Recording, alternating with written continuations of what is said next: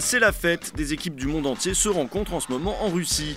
Mais si vous vouliez ce week-end voir le Cameroun jouer contre la Guinée, vous pouviez tout aussi bien vous rendre à Villeurbanne et assister au tournoi de foot organisé dans le cadre de la journée porte ouverte de l'Amphi un squat qui accueille les migrants.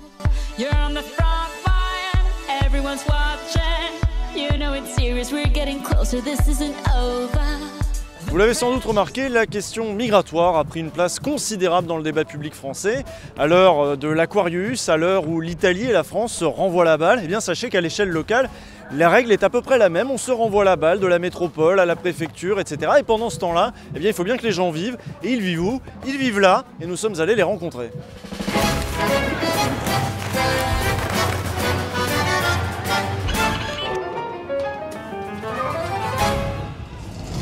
Immigré, immigré, reste là, t'en vas pas. Maintenant que t'es installé, mon vieux, tu es chez toi. Et chez toi, ça peut bien être l'Amphized. Cet ancien centre d'entraînement des pompiers a été reconverti en squat qui accueille aujourd'hui 80 migrants à Villeurbanne, dans la banlieue de Lyon. L'Amphized fêtait donc ses 6 mois d'occupation. L'Amphized, c'est une petite histoire parmi beaucoup d'autres. Une histoire qui commence aux abords de la gare Pardieu, sur l'esplanade Mandela.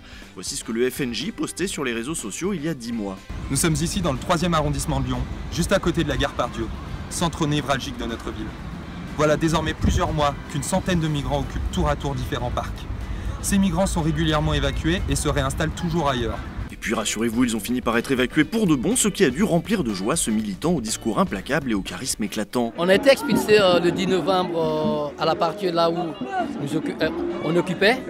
Du coup, Dieu merci, il y a eu l'arrivée des étudiants de Lyon 2 qui sont venus et ils nous ont vus dans la galère. Euh, donnez ce que vous avez à donner, que ce soit euh, euh, ben, vêtements, chaussures, etc. et voilà, et parler avec eux et essayer de trouver des solutions ensemble. Voilà. Et oui, cette jeunesse qu'on dit feignante, qui ne s'intéresse à rien d'autre qu'à fumer des joints et les poster sur Snapchat, eh bien elle se bouge son petit cul et elle aide les gens dans le besoin. Ah, qu'est-ce qu'on ferait pas quand il s'agit d'emmerder les aînés? Et du coup, euh, on a posé avec eux, on est parti directement euh, à, l'université Lyon 2, là où on a occupé un amphi du nom de Amphi C.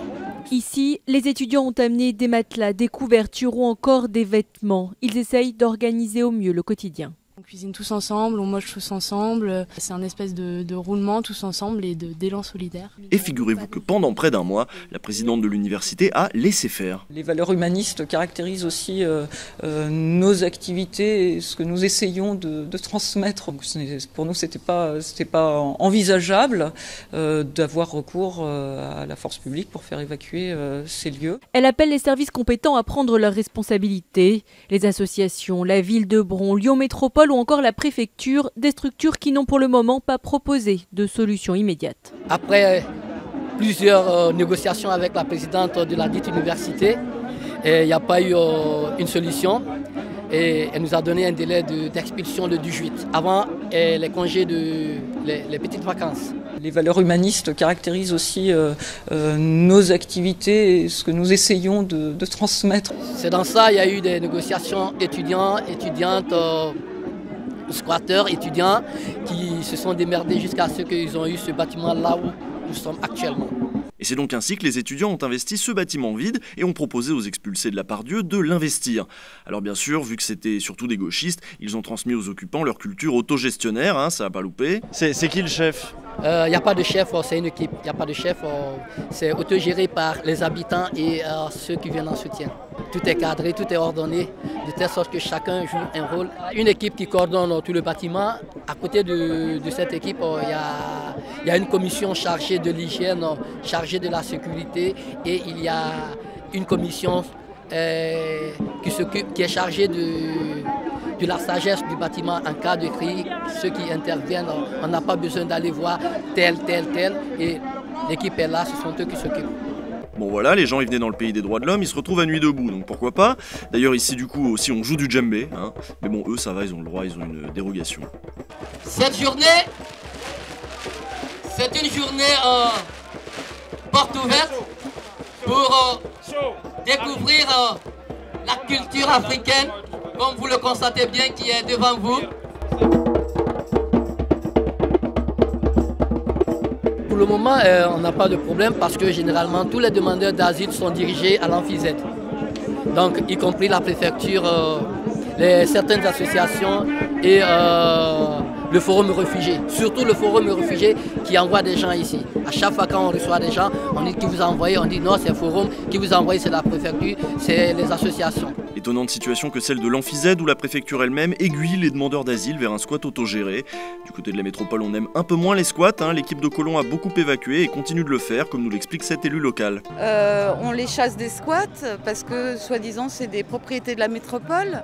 Euh, alors que très souvent ce sont des bâtiments vacants qui ne servent à, rien ni à personne. La métropole a euh, récemment fait voter un rapport autorisant l'autorisant à dépenser 1 800 000 euros pour euh, installer de la vidéosurveillance sur tous les bâtiments vacants pour empêcher les squats. Il faut dire que l'accueil des réfugiés n'est pas un sujet sur lequel il est bon de communiquer, ce n'est pas très porteur politiquement, alors on fait le minimum nécessaire, discrètement, et publiquement on prône la fermeté. C'est comme si dans ce domaine, l'extrême droite avait depuis quelques années donné le ton. L'immigration, c'est son sujet à elle, elle ne parle que de ça et impose son agenda. Maudit soient ces enfants de leur mère patrie empalés une fois pour toutes sur leur clocher qui vous montre leur tour, leur musée, leur mairie, vous font voir du pays natal jusqu'à Loucher, qu'ils sortent de Paris ou de Rome ou de Sète, ou du diable Vauvert, ou bien de Zanzibar, ou même de mon cul, ils s'enflattent mazette les imbéciles heureux qui sont nés quelque part. La France doit s'occuper des siens avant de s'occuper des autres. Le statut de droit d'asile est utilisé de manière abusive parce que ces personnes sont là pour des raisons économiques. Bon alors déjà, qu'est-ce que t'en sais Et deux, quand bien même, qu'est-ce que ça changerait? Pourquoi ça nous empêcherait de les accueillir dignement? Maintenant, c'est les élus qui font pas grand-chose, parce qu'il y a des élus qui sont à gauche, mais qui sont dans l'exécutif, c'est-à-dire qui sont ambivalents. Et c'est ceux-là qui, qui posent problème, parce qu'ils cautionnent la politique menée par l'exécutif. Voilà, moi, c'est ce que je pense. Et puis en plus, il y en a beaucoup qui sont ignorants de ce qui se passe dans les pays d'origine. Oui, d'ailleurs, on est d'autant plus ignorant qu'en France, on ne parle qu'assez peu de l'Afrique. Hein, pour tout dire, on s'en fout. Et même quand ces habitants viennent chez nous, eh ben, on n'est même pas foutu de les écouter nous parler de leur pays. Donc on a essayé de faire ça. Ali, par exemple, a fui la Guinée. En Guinée, l'insécurité est endémique et la corruption gangrène toute l'administration, de la police aux hôpitaux. On a manifesté plein de fois là-bas parce qu'il y a des trucs. Donc on n'arrive pas, il y a des jeunes. Tu, tu vis dans l'insécurité, tu vois. Donc c'est pourquoi il y a beaucoup de personnes qui, aussi qui, fuient leur pays. C'est pas non seulement le fait qu'ils ont, ont dit que l'Europe est beau, vous voyez. Un mort de plus, un mort de trop, plus jamais ça. Un mort de plus, un mort de trop, plus jamais ça. Parce qu'il y a des pays où ça se passe comme ça, tu vois, tu pars, tu manifestes, on te tue, tu as peur, tu vois. Ouais, ouais, c'est quand même mieux d'être euh, dans un pays sécurisé où t'as pas crainte d'être tué, tu vois. Oui, on se sent même complètement con d'avoir à le rappeler en fait, mais euh, à gauche, on est souvent accusé de faire dans le mélo et les grands sentiments quand on défend un accueil digne pour les réfugiés. Alors qu'en fait, c'est juste simple. C'est quand même mieux d'être dans un pays où t'as pas peur d'être tué. Je pense qu'il faut, faut, être fini à la piste pour pas vouloir entendre ça. Il est urgent de mettre un terme à cette politique d'accueil. Ces clandestins qui violent la loi avec la complicité des associations d'extrême gauche largement subventionnées par la mairie, doivent être expulsés du territoire. Quant à la misère, bien sûr qu'elle donne des envies d'ailleurs. C'est toute l'histoire de l'humanité, ça. Quand on a peur d'avoir faim, on émigre, frontière ou pas frontière. Quand on n'est pas satisfait de son sort, on émigre, comme le font nos start qui se déversent sur Londres depuis des années. À l'origine, vous aviez envie de faire quelque chose en France? Qu'est-ce qui n'a pas marché? L'argent? Les banques? Non, les banques déjà même pas la peine. Et, tout le monde disait, vous n'avez jamais monté d'affaires, vous êtes jeune, vous avez 23 ans, vous n'avez pas fait des diplômes, vous n'avez pas fait les écoles. On est arrivé ici, on nous a dit, on ne veut plus entendre parler d'âge. Euh, vous êtes là, vous êtes jeune, vous avez envie, on va y aller. On arrive à concevoir que les nôtres partent s'installer à l'étranger parce qu'ils trouvent qu'il y a trop de pesanteur administrative chez nous, mais on n'est pas foutu de comprendre qu'on vienne chez nous parce qu'on a peur d'être tué là-bas. Et quand les uns prennent le risque fou d'emprunter le tunnel sous la Manche, les autres s'embarquent dans des vaisseaux de fortune et prennent le risque d'être engloutis par les vagues de la Méditerranée ou le ventre de l'Atlantique. Les gens là qui meurent sur les plages, et je mesure mes mots, si c'était des blancs, la terre entière serait en train de trembler ce sont des Noirs et des Arabes. Alors eux, quand ils meurent, ça coûte moins cher.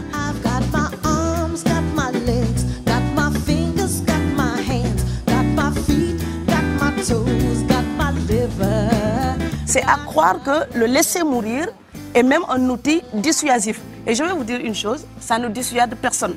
Parce que quelqu'un qui part et qui envisage l'éventualité d'un échec, celui-là peut trouver le péril absurde et donc l'éviter. Mais celui qui part pour la survie, qui considère que la vie qu'il a à perdre ne vaut rien, eh bien celui-là, sa force est inouïe, parce qu'il n'a pas peur de la mort.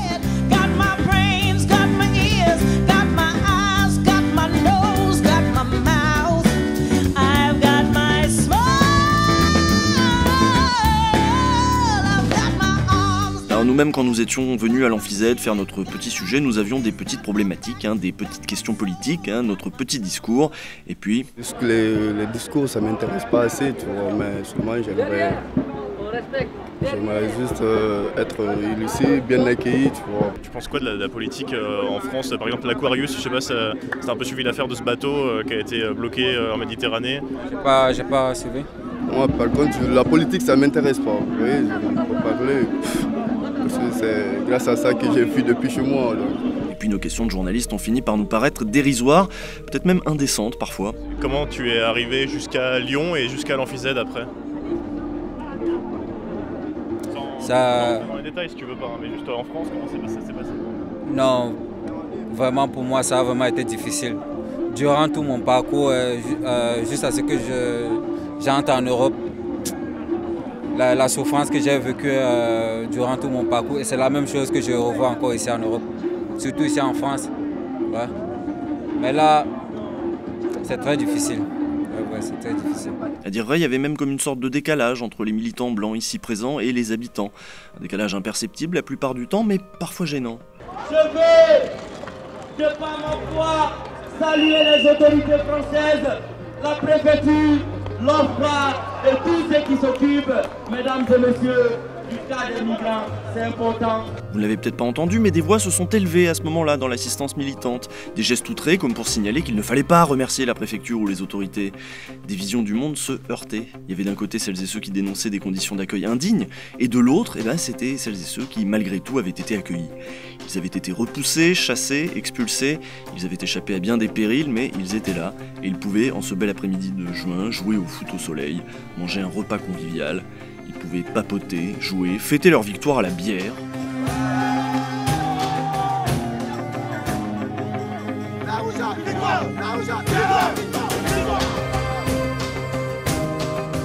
Au niveau du papier, ça ne va pas, mais on peut dire encore ça ne va pas parce que nous avons un toit où dormir. Ouais, bon, pour moi, je trouvais cet endroit bien parce que je n'ai pas un endroit où poser la tête. Ouais.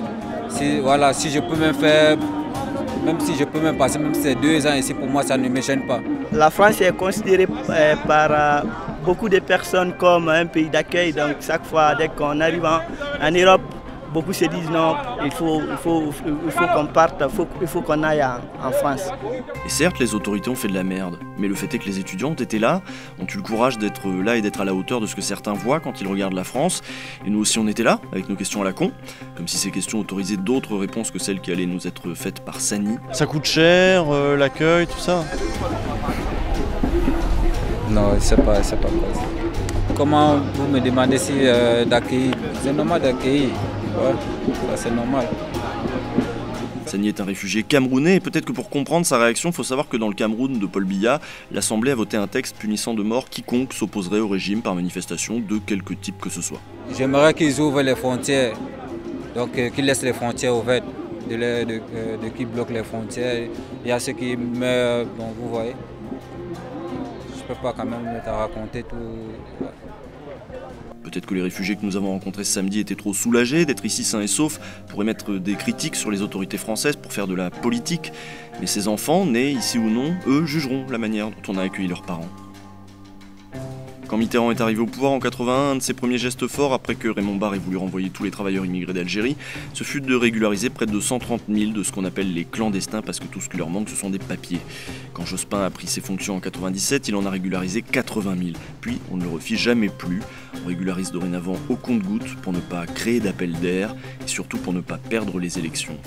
Mais bon, si tu ne le savais pas, maintenant tu le sais, hein, régulariser en masse quand on veut, on peut, et ce serait même tout à ton honneur, Manu. À lundi prochain.